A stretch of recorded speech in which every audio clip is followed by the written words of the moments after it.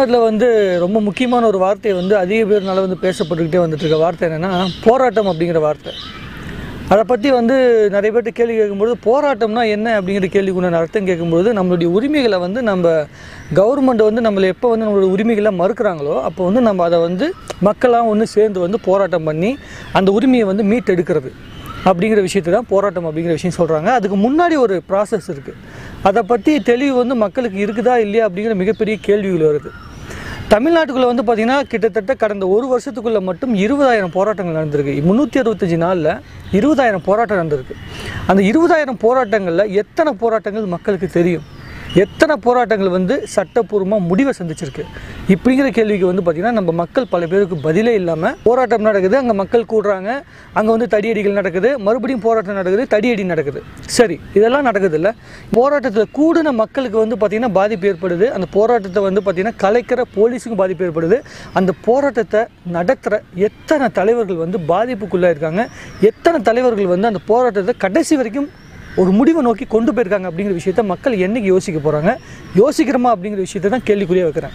உதாரணத்துக்கு இந்த ஸ்டெர்லைட் பிரச்சனைக்கு வந்து பார்த்திங்கன்னா மக்கள் கூடியிருக்காங்க. உண்மையாக வந்து பார்த்திங்கன்னா அந்த ஸ்டெர்லைட் ஆலையை மூடணும் அப்படின்னு சொல்லிட்டு வந்து மக்கள் ஒன்று திறந்து போராடினாங்க.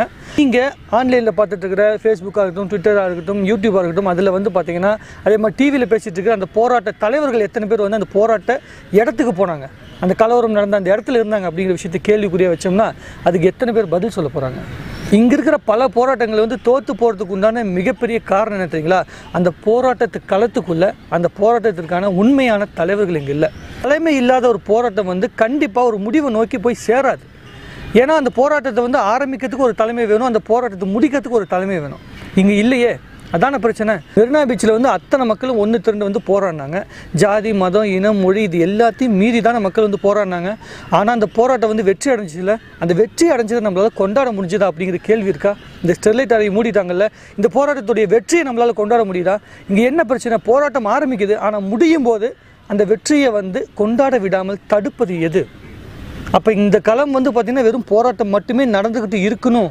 இங்கே முடிவை வந்து மக்கள் உணரக்கூடாது. இந்த முடிவை வந்து மக்கள் கொண்டாடக்கூடாது அப்படிங்கிற நிலைமையை வந்து ஏற்படுத்துறதுக்கு உண்டான சூழ்நிலை நடந்துகிட்டு இருக்கா அப்படிங்கிற கேள்விக்கு உண்டான பதிலை நம்ம என்னைக்கு தேட போகிறோம் அப்படிங்கிறது தான் மிகப்பெரிய கேள்வி. தமிழ்நாட்டுக்குள்ளே வந்து பார்த்திங்கன்னா இப்போ ஒரு கேவலமான ஒரு தாட் வந்துட்டுருக்கு. என்ன தாட் அப்படின்னா உள்ளுணர்வே இல்லாமல் உள்நோக்கமே இல்லாமல் ஒரு கருத்தை சொல்ல முடியும் அப்படிங்கிற தாட்டே வந்து யாருக்குமே கிடையாது. அதாவது நீ இவனுக்காக தான் நீ இதை இதை பேசுகிற நீ இதுக்காக தான் இதை பேசுகிற நீ இவனுக்கு சப்போர்ட் பண்ணுறனால தான் அதை பேசுகிற அப்படிங்கிற வார்த்தை மட்டும்தான் இருந்துகிட்டே இருக்கே தவிர எல்லா மக்களுக்கும் பொதுவாக தான் இந்த வார்த்தையை நான் சொல்கிறேன் அப்படின்னு ஒருத்தன் சொன்னால் கூட அந்த கருத்தை ஏற்றுக்கிற தன்மை ஒட்டுமொத்த மக்கள் மத்தியிலுமே வந்து விதைக்கப்பட்டிருக்கா அப்படின்னு சொல்லி பார்த்தீங்கன்னா அதுவும் மிகப்பெரிய கேள்வியாக தான் இருக்குது இப்போ தமிழ்நாட்டுக்குள்ளே இருக்கிறது பேர் வந்து பார்த்திங்கன்னா போராட்ட உணர்வு இல்லைங்க அரசியல் கோபம். ஏற்கனவே இருந்த அரசியல் சூழ்நிலையை பார்த்துட்டு நம்ம பயங்கரமான கோபத்தில் இருக்கிறோம். அந்த கட்சி எனக்கு பிடிக்கல இந்த கட்சி எனக்கு பிடிக்கல இந்த கட்சி தலைவர் எனக்கு பிடிக்கல. அதே மாதிரி வந்து இந்த எம்எல்ஏ பிடிக்கல எம்பியும் பிடிக்கல மந்திரி பிடிக்கலன்னு சொல்லிட்டு அந்த கோபத்தை மட்டும் வச்சுக்கிட்டு தான் நம்ம போராட தயாராக இருக்குமே தவிர அரசியல் தெளிவோடு நம்ம போராட தயாராகவே இல்லை. போராட்டத்துக்கு முன்னாடி ஒரு வந்து ஒரு விஷயம் இருக்குது அதாவது சட்டப்பூர்வமாக அணுகிறது அப்படிங்கிற விஷயம். அந்த விஷயத்தை எஜுகேட் பண்ணுற ஏதாவது சட்டப்பூர்வமாக நம்ம இப்படி அணுகணும்னா நமக்கு உண்டான முடிவு கிடைக்கும் அப்படிங்கிற விஷயத்த நமக்கு சொல்லிக் கொடுக்கின்ற அரசியல் தலைவர்கள் இங்கே இல்லை. எல்லா போராட்டம் நடத்திட்டு இருக்கிற எல்லா தலைவர்களுக்குமே வந்து பார்த்திங்கன்னா சட்டப்பூர்வமாக தெரியும். பயங்கரமாக வந்து பார்த்திங்கன்னா மக்கள் செல்வாக்கெல்லாம் வச்சுருக்காங்க. ஆனால் அந்த மக்கள் செல்வாக்கை வெறும் தெருவில் நிற்கிறதுக்கு மட்டும்தான் பயன்படுத்திகிட்டே இருக்காங்களே தவிர கண்டிப்பாக கோர்ட்டில் போய் நிற்கிறதுக்கு தயார்படுத்தவே இல்லை. கோர்ட்டில் கொண்டு போயிட்டு வந்து ஒரு பெட்டிஷனாக போடுறதுக்கு யாருமே உங்களை தயார்படுத்தவே இல்லை. வெறும் தெருவில் நில்லுங்க போராடுங்க உங்களுக்கு உரிமை கிடைச்சிடும் உங்களை ஏமாத்திட்டு இருக்காங்க. ஏன்? நம்மளை ஏமாத்திட்டு இருக்காங்க. இதை நம்ம என்னைக்கு உணர அப்படிங்கிற விஷயத்த நம்மக்கிட்ட தான் நம்ம கேள்வியே கேட்டுக்கணும். ஒரு பிரச்சனை நடக்குது அப்படின்னா அந்த பிரச்சனைக்கு உண்டான முடிவு அந்த பிரச்சனைக்கு உண்டான தீர்வு இதுதான் வந்து பார்த்திங்கன்னா முத முதல்ல ஒரு அரசியல் தலைவர் பேச வேண்டியது. அதே மாதிரி இந்த பிரச்சனை இருக்குன்னு நீங்கள் பதட்டப்படாதீங்க. நீங்கள் வந்து பொறுமையாக இருங்க. கண்டிப்பாக எங்களால் வந்து இந்த உரிமையை மீட்டு கொடுக்க முடியும் அப்படிங்கிற நம்பிக்கையை தான் முத முதல்ல ஒரு அரசியல் தலைவர் நம்மக்கிட்ட விதைக்கணும். இங்கே நம்பிக்கையை கொடுக்குற அரசியல் தலைவரே கிடையாது. ஐயோ நம்ம எல்லாருமே நாசமாக போயிட போகிறோம் நம்ம எல்லாமே அழிஞ்சு போயிட போகிறோம் நமக்கு வந்து உரிமைகள் பறிக்கப்பட்டுச்சு சோத்துக்கு சிங்க அடிக்க போகிறோம் பத்து வருஷம் கழிச்சு வந்து நம்ம உயிரோடு இருக்குமா இல்லையானே தெரியல. இப்பயே முடிச்சு வந்துடும் சொல்லிட்டு எல்லா டைமும் நம்மளை பயப்படுத்தி மட்டும்தான் இங்கே அரசியல் நடக்குது. இந்த பயத்தை மட்டும் வச்சுட்டு என்ன வந்து அரசியலை சாதிக்க முடியும்? இது வரைக்கும் வந்து பார்த்திங்கன்னா நல்ல அரசியல் தலைவர்களுக்கு உதாரணமாக காமராஜரை சொல்கிறாங்க அதே மாதிரி வந்து மக்களுக்கான அரசியலை வந்து பார்த்திங்கன்னா எம்ஜிஆரை சொல்கிறாங்க இப்படி எல்லா விஷயத்தையும் சொன்னாலும் அவங்கெல்லாம் பயந்துக்கிட்டு அரசியல் பண்ணாங்க. இல்லை மக்களை பயப்படுத்தி அரசியல் பண்ணாங்க. மக்களுடைய உணர்வுகளை புரிஞ்சுக்கிட்டு அவங்கள வந்து தைரியம் அதாவது இவங்க இருக்கிறாங்க ஆட்சியில் கண்டிப்பாக நமக்கு நல்லது நடக்கும் அப்படிங்கிற ஒரு தைரியத்தை கொடுத்து தானே அரசியல் பண்ணுறாங்க இப்போ தைரியத்தை கொடுத்து அரசியல் பண்ணுற அரசியல் தலைவர்கள் எத்தனை பேர் இருக்காங்க? இதெல்லாம் யோசிங்க முதல்ல. வெறும் சோஷியல் மீடியாவில் வந்து பார்த்திங்கன்னா ஒரு ஹேஷ்டேக் போட்டு அந்த ஹேஷ்டேக்கில் வந்து பார்த்தீங்கன்னா எல்லாரும் இணைஞ்சிடுறதுனால மட்டுமே எல்லாமே சரியாகி விடாது. என்னைக்கு வந்து ஹேஷ்டேக் போட்டு அதில் வந்து நம்ம பாசிட்டிவான விஷயத்தை அதிகமாக விதைக்க ஆரம்பிக்கிறோமோ என்றைக்கு பாசிட்டிவான விஷயத்தை அதிகமாக பேச ஆரம்பிக்கிறோமோ அன்னைக்கு தான் இந்த அரசியலில் வந்து மாற்றம் ஏற்படுமே தவிர வெறும் கோபத்தை மட்டும் வச்சுக்கிட்டு இருந்தோம்னா கண்டிப்பாக மாற்றம் ஏற்படாது. ஒரு போராட்டம் நடக்குதுன்னா ஏன் இவர் வரல அவர் ஏன் வரல அப்படிங்கிற கேள்வி கேட்கறது முதல்ல வந்து நம்ம நிறுத்தணும் முதல்ல. நம்ம எல்லாமே கேள்வி கேட்கறது எங்கே கேள்வி கேட்டுருக்கோம் நான் இங்கே வீடியோவில் உட்காந்து கேள்வி கேட்டிருக்கேன். நீங்கள் வந்து ஃபேஸ்புக் ட்விட்டரில் உட்காந்துக்கிட்டு இருப்பீங்க. மக்கள் அங்கே போராடிட்டு இருக்காங்களோ? அவங்கள பற்றி அதிகம் பேசுங்க. யார் பேசாமல் இருக்காங்களோ யார் வந்து கருத்து சொல்லாமல் இருக்காங்களோ ஏன் கருத்து சொல்லின்னு அவங்க பின்னாடி போயிட்டு இருந்தீங்கன்னா மீடியாவில் என்ன பண்ணுவோம் ஏன் கருத்து சொல்லின்னு சொல்லி அங்கே தான் திரும்பி போவானே தவிர போராடுற மக்கள் எத்தனை பேர் காட்டுவான்? அதை பற்றி புரிஞ்சுக்கணும் முதல்ல நம்ம.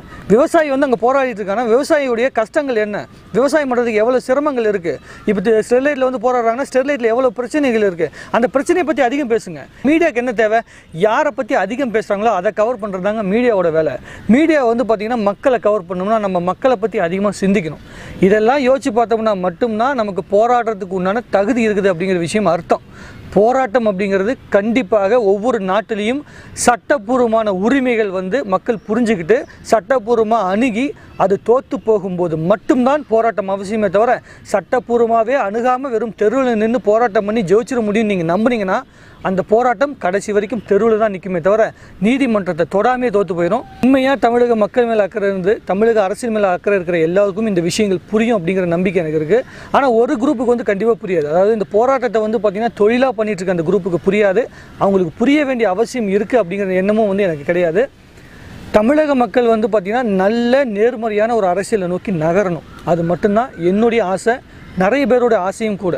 ஏன்னா இந்த அரசியலை பார்த்து பயம் வருது. ஒரு காலத்தில் வந்து பார்த்திங்கன்னா வந்து ஒரு டீ கடையில் போய் உட்காந்தோம்னு வச்சுக்கோங்க அரசியல் பேசக்கூடாது அப்படின்னு சொல்லிட்டு வந்து எல்லாம் எழுதுவாங்க. ஆனால் இப்போ வந்து பார்த்திங்கன்னா எல்லா டீ கடையிலேருந்து எல்லோருமே தைரியமாக அரசியல் பேச ஆரம்பிச்சிருக்காங்க. இப்போ பேச ஆரம்பிச்சிருக்க இந்த தைரியம் ஒரு நல்ல அரசியல் மாற்றத்துக்கு உண்டான விஷயமா மாறணும் அப்படிங்கிற எண்ணத்தோடு தான் எல்லாரும் பேசிகிட்டு இருக்காங்க. மக்களுடைய பெரும்பான்மையான பார்வை இருக்குது அந்த பார்வை ஒரு நல்ல அரசியலுக்கு உண்டான மாற்றத்தை ஏற்படுத்தும் அப்படிங்கிற நம்பிக்கையோட இன்னும் நிறைய விஷயங்கள் பேசுவோம். நன்றி வணக்கம். உங்களுடைய கருத்துக்களை வந்து கமெண்டில் போடுங்க. மறுபடியும் பேசுவோம்.